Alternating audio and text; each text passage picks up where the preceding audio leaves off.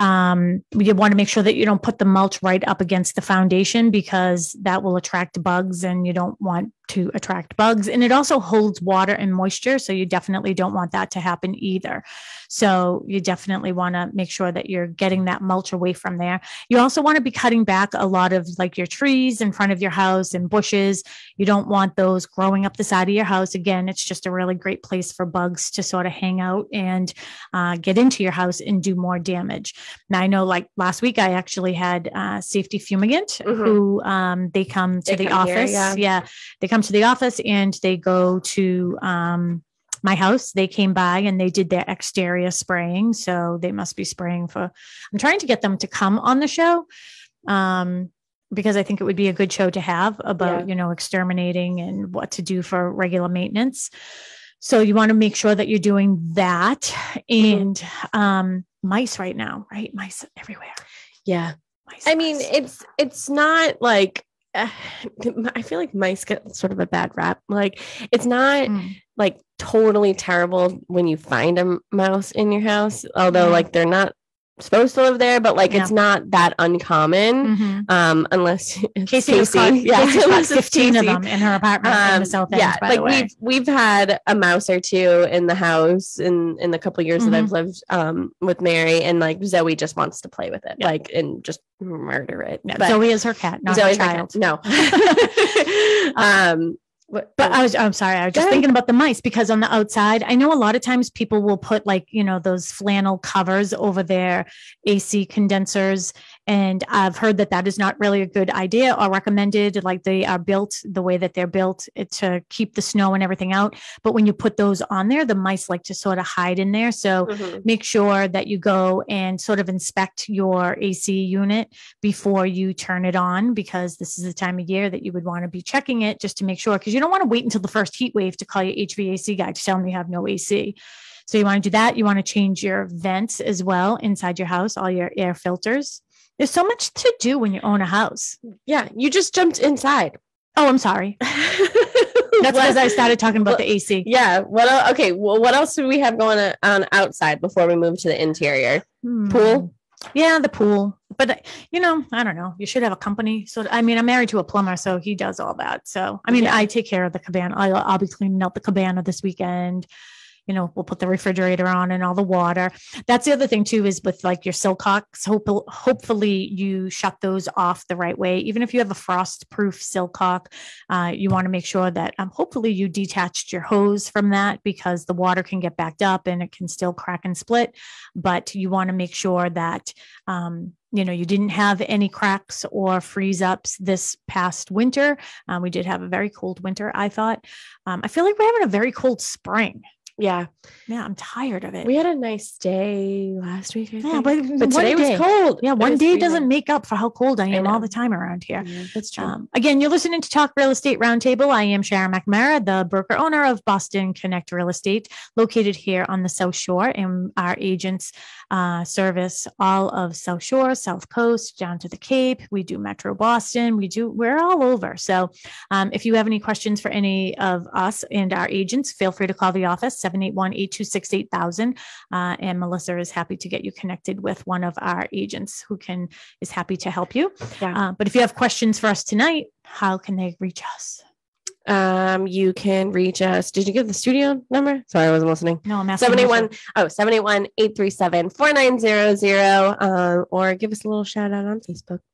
Um, okay, exterior. Anything else? We t- we said walk around. Well, you want to check out the roof. Check right? out the roof. So Instabright, I know they do a lot of commercials on WATD, and they do a great job because if you get that moss buildup on your, you know, on the side of your house, if you have vinyl, eh, you don't even have to have vinyl, whatever you have, and on your roof, you definitely don't want to just take a power washer and just like attack it. Yeah, I was reading like um, I was reading something that said, uh, "Give your house a bath." Yeah. But you don't necessarily need a power washer mm. um, because you could actually do more damage yep. than good. Like mm-hmm. not every house needs a power washer. So yeah, yeah, because the power wash, sometimes what people will do is they just put mm-hmm. it on full force and, make and sure then you, they're taking yeah. away the shingles. Make sure you close all your windows and doors before you give your house a bath. well, actually, I've had a client in the past who um, he had somebody come and they power washed the house and did a terrible job and they chopped up a lot of the cedar shingles and it was like stuck in their screens yeah. and on their windows and everything else. So I say hire a professional. I know um, Instabright again is the company that I use for both the office and for my home, and they do like a spray. Like I have to do it like maybe every five years. And what it does, like on the roof, like there's some areas that will get like sort of that like little buildup of mossy whatever, yeah. and it just dries out with the sun and falls off. Yeah, um, something you want to also look for anything that's on the exterior of your home that might be made of wood. You want to look for any cracks that or mm-hmm. damage from mm-hmm. water. Um, um i think i read something it's like called winter grime so like mm. you don't oh we do we do what is our caller's name i'm sorry who was it it's Bonnie from Pembroke. Hello, Hi, Bonnie. Bonnie. How are you? oh, we're here. We miss you. Yeah. We have to. You're talking grime. I have a question. Okay, yeah, absolutely love to know what you recommend for natural shingles, which I cannot stand, that are on three sides of my house. Mm, oh. and that is like a power wash type of thing. You know, I would call Instabright. They do a really good job. I have them at my house. Yeah. Um, and that's why I looked at you. I'm like, you have natural shingles. Yeah, we have natural shingles at my house. And, you know, and that's one of the things too, is if you have the natural that sort of went to like the, um, like sort of like that brownish color, I would suggest calling Instabright, having a good cleaning done on it, and then have a painter come out. And because when we put our shingles up on our house, we had the pre dipped ones. So it had a little bit of color to it. Like, but, and then just, I would just stain them if you don't like them. You don't have to do the whole paint thing. That's just my question. Mm, yeah. But I would definitely have Instabright go there. Oh, you do? Good. I'm sure his name's Wanda. We haven't. So we have. I know, I know we haven't. Um, yeah, we I could go on about why I've named all the we do have um two mm-hmm. clownfish. So obviously one is Nemo. I didn't name that one, but then I named the other one Elbow because it's Nemo Elbow. Very funny. Um, yeah, but we and then we have a dory fish. I don't even know what's the what's the name of a dory fish. I, I don't know. I didn't dory. name that one either, but I've I've named how mm-hmm. Victura? That was Ed Kennedy's sailboat. Oh, that's a good. You can have a beautiful. That's good. Angel fish or whatever. Well, I was I was looking up. Uh, who was it? Harold Vanderbilt was a sailor. He was a he he got a lot of um. So I was going to name him Harold. Uh, yeah, but you know, I'm really I'm intrigued. I'm intrigued by the Kennedys. You know, like last yeah, summer I, know, I read I know, like four books on the Kennedys. Yeah. Yeah. So. Um, yeah. yeah the boats they used to sail were called Wiannos, Wianno Junior and Wianno Senior. Oh, interesting. Wianno, yeah, I, I, yeah, that's good. Yeah, we had a, um, yeah, we had one that looked like a salamander. His name was Sal, obviously, but I don't even know what kind of. He passed away, unfortunately. Uh, but um, we got a new one today. He's he's like clear, but with red all over him. So I named him Sid or Sidious because one of the um Darth it's Darth Sidious from, from Star Wars. so his name's Sid. So we have Bonnie, Sal and you Sid. Know, you know we're having too, way too much fun over here, Bonnie. But you'll have to come and visit us again. Yeah, come and visit the fish. Say hi to Mark. You girls are doing a great job. Ah. Thank you. Thank you. Thank yeah, you, definitely Bonnie. give Instabright a call. You're welcome. Bye. So that was Bonnie from Pembroke. She's one of our listeners. Mark does the plumbing at her house. She's great. She actually stopped by. Remember, she had won a gift certificate. Yeah, she yeah. came by and we're sitting here chatting with her. And yeah, we have to go take a cruise one yeah. day too. So we will plan on doing oh, that. Yeah, take a cruise. Yeah, we're going to take a cruise with her. We'll go into Boston. We're also all going to Vegas together. yeah, it's a company. Um, all right. So back to our topic. We are talking about spring maintenance tips. Uh, even, you know, whether you're thinking about selling your house or not these are just really good tips that you should be thinking about doing just to keep, you know, up with the maintenance of your home. And, you know, so when the time does come that you don't have to try to do everything all at once. So, you know, now that the winter is over, I think it's a really good time to have your boiler sort of uh, cleaned, mm-hmm. right? Mm-hmm. Especially mm-hmm. if you have oil, forced, you know what I mean? Just, just uh, forced hot water with oil uh, even if you, well, I don't know. Yeah. So, anyways, if you have a boiler, you should definitely, yeah. you know, I would think have that cleaned out. Yeah. I mean, why wait until you get, you know what I mean? Right now, things are sort of slowing down for those people. That's when you want to have these services done. One of the services, um, jumping into the inside right now again, is I just contacted somebody this week to clean out all of the air ducts in both the office and in my home. So uh, they are going to be coming to the office on May 10th. And it's pretty inexpensive, you know, but you're breathing this stuff in. If you think about, you know, one of the things I was thinking about is at my house when we had we just had the hardwood floors sort of done. So there's like a lot of even though they say it's dustless, there's dust all over. There was dust all over the place. So I know that that's stuck in the vents. So I want to have those cleaned. I want to have my dryer vents are going to get cleaned um, I'm just going to go into my little yeah. OCD moments. Yeah. Um, something else that I um, came up with was sump pump. So mm. make sure that your sump pump, because in the spring it rains a lot. Mm-hmm. So you want to make sure that your sump pump is working before all of that rain, which you should probably do it even before the snow starts to melt because mm-hmm. once the snow starts to melt obviously there's water um, mm-hmm. so you want to make sure that if that water happens to come into your basement mm-hmm. um, that that the sump pump is working but mm-hmm. it's it rains a lot. I mean it was raining today. It was it was like florida. It was bright and sunny and raining today. I didn't even see it raining. Well when i went to go get coffee it was pouring. Oh i didn't even notice. Yeah. I was so like intrigued in my office doing whatever i was doing. Um yeah so i do think with the sump pump i think it's really a good idea to also have like a battery backup on yeah. those uh, just because a lot of times when you have these big storms you lose electricity. So i know that i did have a listing one time down the cape and nobody was living in it at the time and the electricity was going on and off on and off on and off and it blew out the yeah. circuit breaker yeah. and the sump pump broke and there was mm, a good foot of water in that basement um, I know that you talked about the chimney, but like even for people like, i'm just thinking about like at our house we really only had maybe one or two fires this yeah. this um winter but i feel like even when you don't use something i feel like it's all the more reason to have it checked because it's not doing what it's oh, made to, to do yeah like you know so you sort of forget about it and you're not using it so like you just sort of move on and, and do something else but i feel like things or mechanicals that you don't regularly use, mm-hmm. you should be sort of looking at those things to make sure that when you do go mm-hmm. to use them, they are going to work. Well, I remember when I think it was it was at Mary's and Sam's house that something went. I think the water heater went. Yeah, I think the water and heater. he so that was like vented through something in the basement. But when he opened it up, it was like stuffed with like bird, like a bird had made a nest and everything else in there. And that's like really, really dangerous. So you want to make sure that you're checking your flues and everything else to make sure that there isn't anything stuck in there. Yeah. Yeah, because you don't want carbon monoxide coming back in your house. That's yeah. why you should also have your carbon monoxide detectors. So those are good for 10 years. So if you've had yours, been in your house for 10 years and never changed out your carbon monoxide detectors, now you have to do that. And there are all kinds of rules that go along with that. So you can get all that information. Uh, state of Massachusetts has, you know, the fire department for the marshal, fire marshal um, has all that information, but every town may have a different uh, bylaw to go along with it. For example, Pembroke has a bylaw that you have to have a smoke detector above your dryer. Yeah. Not every town has that. Mm-hmm. So make sure that you're checking in with your town to make sure that you're putting all those in the yeah. right place. Some towns require a smoke detector in every bedroom mm. or 10 feet from a bedroom door. That's um, the carbon monoxide. Yeah. Every 10, it has to be within 10 feet of every bedroom. Mm-hmm. Um, so, but I also think that a rule of thumb should be if you look up and your smoke detector is yellow, you should change it. Because not only is it gross. well, and you know, we just had daylight, it's probably old. Yeah, we just had daylight savings recently too, and that's a really good reminder to change out the batteries.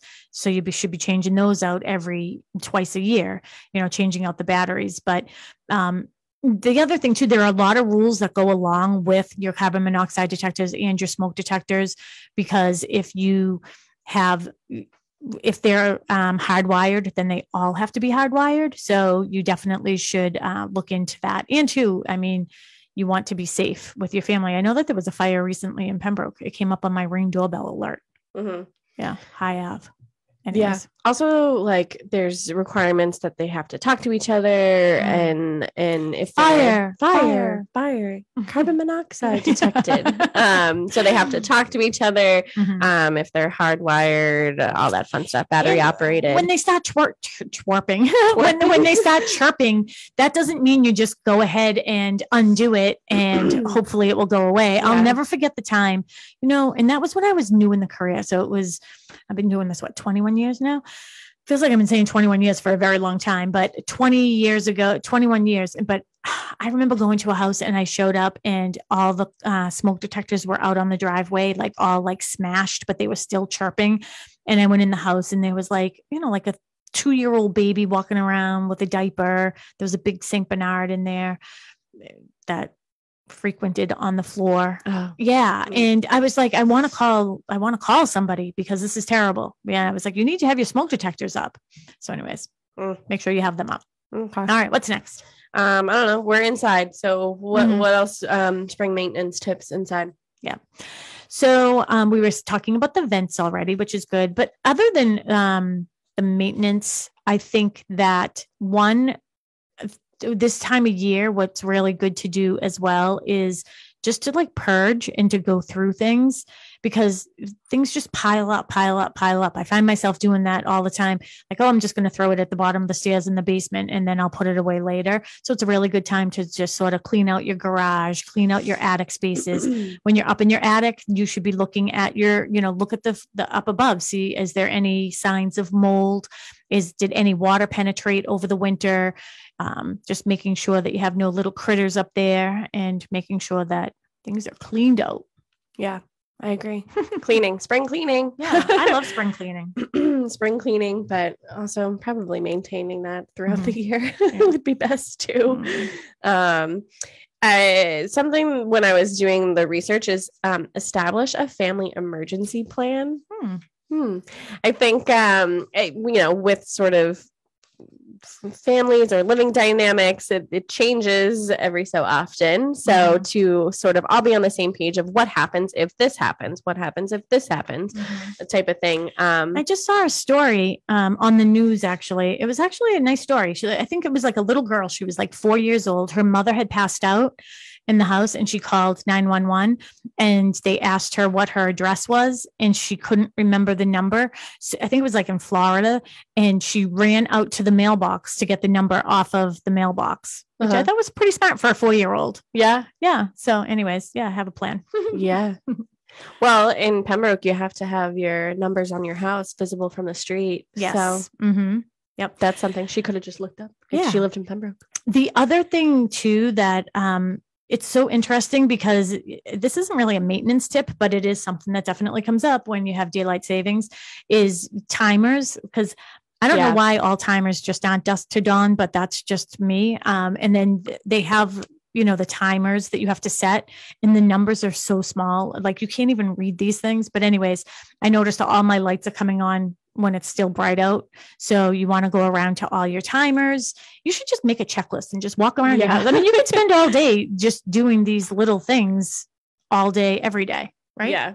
Yeah. Definitely um, setting different timers. I know like at, at least at our house, like every so often, Sam might, you know, decide, okay, we want to leave the light on throughout the night, or we want to leave the light on just like during the day or not leaving us. So, mm-hmm. sort of establishing what it is because now it's like it, a month ago, it was pitch black mm-hmm. outside mm-hmm. right now when mm-hmm. we're doing the show, and now it's so bright. Well, not mm-hmm. so bright, but at least it's the sun's going to sleep, and uh, and um, you know, so it, it, changes. It literally changes overnight. Yep. So um, keeping up with that. So another thing to think about is uh, your septic system. So you want to just maybe have that uh, pumped out. This is a good time of year to have that done, so they can put the grass back and it will grow in.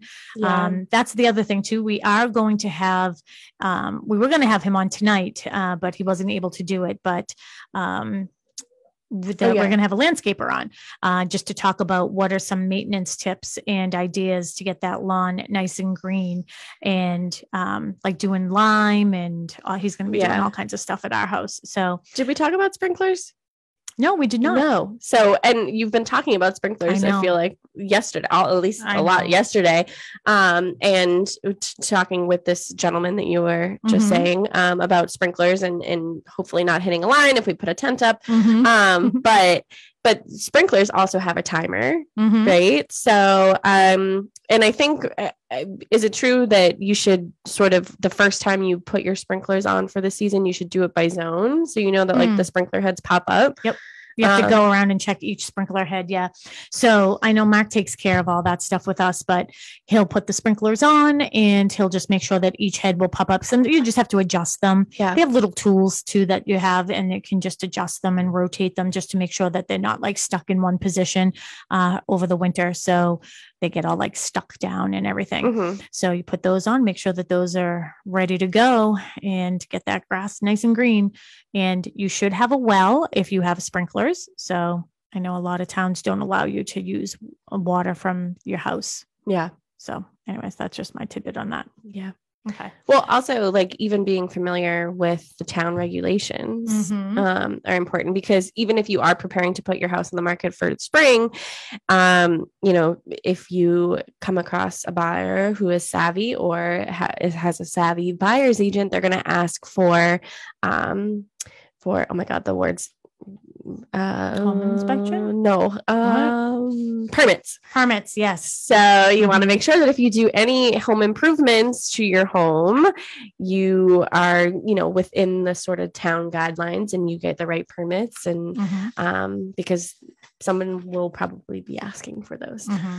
Um, and I think that you know when you're thinking about all the different things to do around your house again our you the goal is is to make everything that you have last a little bit longer. And i know with some of the listings that we've had in the past i remember one that we had last year we got so many comments just because the house was so clean um, it was so organized. I mean those are my favorite listings that i go into and you know we had one a few years ago and he had like his tool like his workshop down in the basement and he had like his hammers his screwdrivers everything were up on the wall and he actually had them traced out with like a black sharpie Mm-hmm. So he knew where each thing went. And then he also had um, this other one that we had last week was um not last week last year he had like labeled all of his paint cans we had more people compliment on the paint cans than anything else but that just shows pride of ownership so if mm-hmm. you do go to sell your house you have it um, all taken care of I keep getting you with your eyes closed. Oh, okay. Sorry. um, sorry, I'm just taking a picture. No, I'm just doing our social media stuff. Um, yeah. So, I mean, obviously, the exterior of your home is the first thing that people are going to see, mm-hmm. whether they're trying to buy it or not. Yeah. So, um, you know, pride of ownership and just really... freshening things up just makes you feel good when you yeah. pull up to your house and there's nothing left. You know, you know what I mean? Like it just feels so good to to drive up and see. Like I put some flowers out this weekend.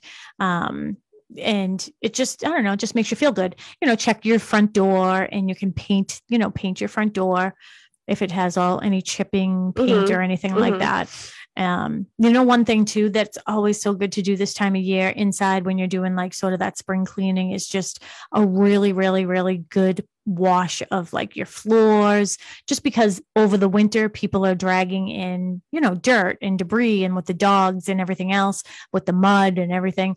Um given i gave my floors such a good cleaning on sunday it felt so good to just have nice clean floors it's almost like my favorite day. You know my favorite day. Yes, balanced um, checkbooks and clean sheets. Yeah, I tr- I coordinate it uh, like on the same de- time yeah. frame. Yeah, yeah, um, yeah. I yeah. now I change my sheets like on the same like day every week. So like uh-huh. every single Saturday, I change my every, sheets. We do ours on Sundays. So usually, anyways. Sometimes I do them on Mondays though well sometimes i do them on sundays because then like at the end of the day i take a nice shower oh, yeah. and i get into a nice clean bed mm. new jammies yeah so i was talking to larry i don't know if he's still there right now but i was talking to larry um, a couple days ago or yesterday and one of the things that he was doing was he was planting his flowers so mm-hmm. he was you know getting some of his spring you know little chores done and planting flowers is always a fun, nice meditative thing to do around your house. Yeah. And we are going to be doing some uh, some spring flower arrangements around here like we do every year. Yeah. Um, so we actually hired somebody mm. um, for our uh, administrative coordinator here at the office. So she yeah. started last week. Um, and so when I was going through some of the things with her, one of it was um, I asked her, "Do you like the sun?" Because I don't like the sun, um, and she said, "I love the sun." Um, and I said, "Oh, perfect!" Because in the spring and summertime, we like to go out here and like water all the plants and water mm. the hanging plants and everything. And she was like, "I can't wait for that. Aww. I love that." So she, that's her job. Oh, I, am giving that to her. Oh, I can't. Good. I can't do it anymore. I was and picking off those dead things. I, I yeah, I, I can't deadhead and things. Um, again, you are listening to Talk Real Estate Roundtable with Sharon McNamara and Melissa Wallace. Our team members, uh, Mary Baker and Evis Mason. Are at the Red Sox game tonight. So, ladies, if you're on your way in and you happen to be listening to us, have fun tonight. I gave Ed- Evis a little cash and I said, "Here, buy yourselves a couple rounds of drinks." Nice on me, yeah. So, um, but if you have any questions for us regarding real estate, uh, seven eight one 837-4900. Larry uh, is at the studio and he can get you through to us and we can continue talking about this discussion. It seems to have gone by a lot faster than it did on Saturday. oh, really? I feel like this is going by slower. Yeah. Well, I mean, like our topics, like oh. like we talked about a lot of things. Oh, so, yeah, yeah, yeah. Yeah. So I feel like we have more energy tonight for some reason. Yeah, I know. I feel well, I don't know. We're on a we're on a fish high. Yeah, that's what Saturdays. Saturdays is like, you know, people are calling us Tuesday night people. How come you're not calling us to say hello? Um, but anyways, go ahead. What else can we discuss? Um in the inside so we talked about air conditioning um sort of and even if you use window units um mm-hmm. you know you don't have central ac you you want to make sure that those are all um it, your your window will actually support it mm-hmm. so yep. that's good um ceiling fans i read that like you should reverse the setting on your ceiling fan to co- counterclockwise so it pushes the air down um and it creates like a nice breeze mm-hmm. That's what I learned. well, it's interesting too, is because I sometimes will walk around my house with like a little notebook because you know, like sometimes I'll be you walk like uh, in my my laundry room, my closet that I have in my laundry room where I keep all my laundry detergent. Yeah. It's just like those wire like um, shelves. Yeah. And they sort of sank in the middle a little bit because the laundry detergent's so heavy. So it's been on my list of things. And I'm like, every time I open that up, I was like, Mark, he told me he was going to change those out for me. And I know that he's been so busy around doing stuff around the yard and everything. Um, but I think it's good to just walk around your house with a notebook and just yeah. sort of just have like a little, I guess you would call it a honeydew list, um, and just make all those little you know, little comments like some of the things too. I'm looking out our front window here. We're right in Pembroke Center, right across the street from Stop and Shop, like all the doors and screens. And you want to just make sure, you know, you know, the, um, the, the ceiling, the seal, sealant. I just felt like we were on that show Pyramid. Yeah. Or like uh what's the word? Yeah, the sh- weather stripping. Yeah. You know, around that. It's a good time to, you know, get all of those things adjusted. So, and here's the thing we were talking uh, on Saturday when we were getting ready for Saturday's show.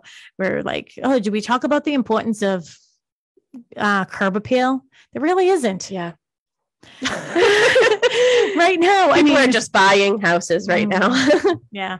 I know that right now. I mean, we'll probably talk about this maybe this weekend and next week a little bit more about, you know, buyer fatigue and buyer frustration. And, um, you know, with the interest rates have gone up, I heard they're in the like five and a half right now.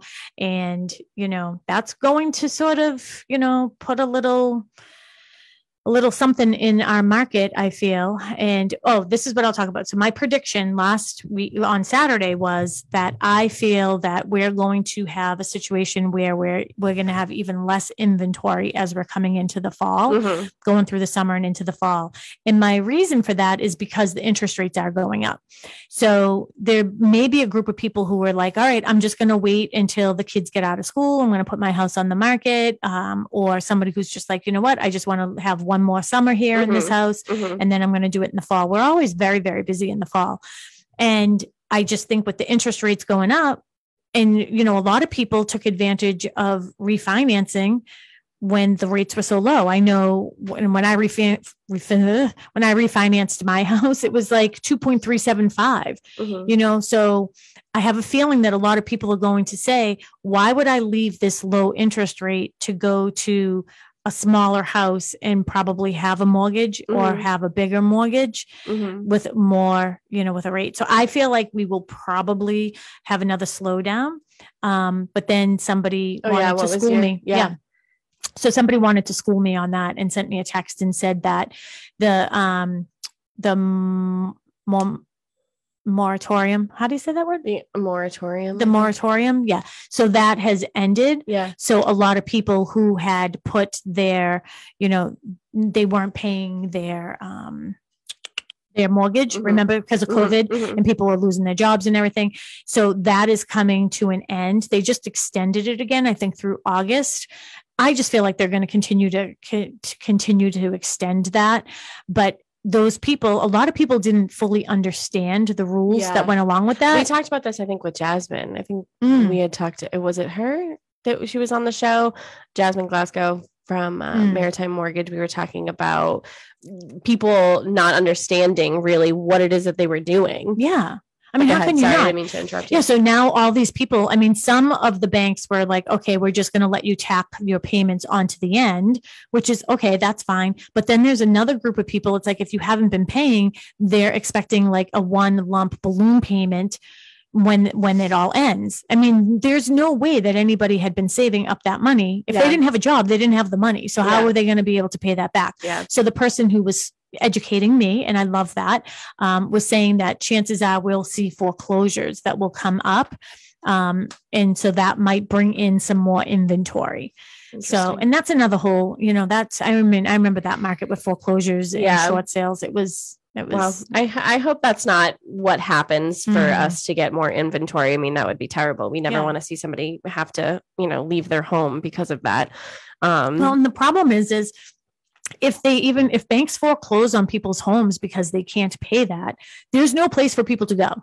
Yeah. I'm on the affordable housing committee in the town of Pembroke and we talk about this all the time like what are we going to do like there's no there's no affordable apartments there's no place for people to go so yeah. I also said that last year my prediction was we are making a clear delineation between the have and the have nots when it comes to the housing industry and I don't like it at all but so we only have three minutes left. Yeah. Do you want to uh, let people know um, how they can find us and listen to our past shows? Yeah, you can go to talkrealestateroundtable.com, listen to any of our past shows.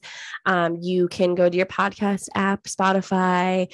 Um, you can say Alexa, Alexa, play, play Talk Real Estate yeah. Roundtable. You can look up. We're we're so famous that you can even look up our names and it'll pop up. um, but you can listen to any of our past shows there. You can go to bostonconnect.com, get all of our contact information. Give me a call here at the office, 781 826 8000, and I can connect you to either our team or anybody here at Boston Connect. We've had um, quite a few agents mm. recently join us. Um, so that's fun. We love having some guests, especially one of our own. Um, mm-hmm. So, you know, it's great recognition for them and promote their listings well, and everything. That's one of the so, things we'd love to do. We'd love to highlight our yeah. agents. We feel as if we have the best of the best and we're like a little family here at Boston Connect Real Estate. Mm-hmm. Everybody helping everybody out. I know last week Trish and Nick were on with Mary. Yep. And then the week before you had Kristen on. No, I had um, Susan oh, Solis yeah, Susan and Solis, Michelle Fay. Michelle Fay. Um, and then before. Kristen, I feel like we I had Kristen on the week before. Yep. So yeah, we've had um we've mm-hmm. had quite a few quite a few of our agents. So if you want to get in touch with any of them from our past shows, again, bostonconnect.com, 781-826-8000. Mm-hmm. Any final words what are we talking about this weekend? I don't know what we'll talk about this weekend. If you have any ideas for us, though, we would love to hear them. So you can send us an email at realestate at bostonconnect.com or you can call us at the office, 781 826 8000. You can even send me a text, 781 294 4848. That 45 minutes just went by very quickly. So I hope that everybody enjoys their Tuesday night. Go Red Sox. And Woo-hoo. Larry, thank you. It was fun having you with us tonight. Thank you, guys. All right. Sending Larry some hugs. So uh, there we go. We'll see you everybody next week. Have a good one, everybody. We'll be here Saturday too, 10 a.m.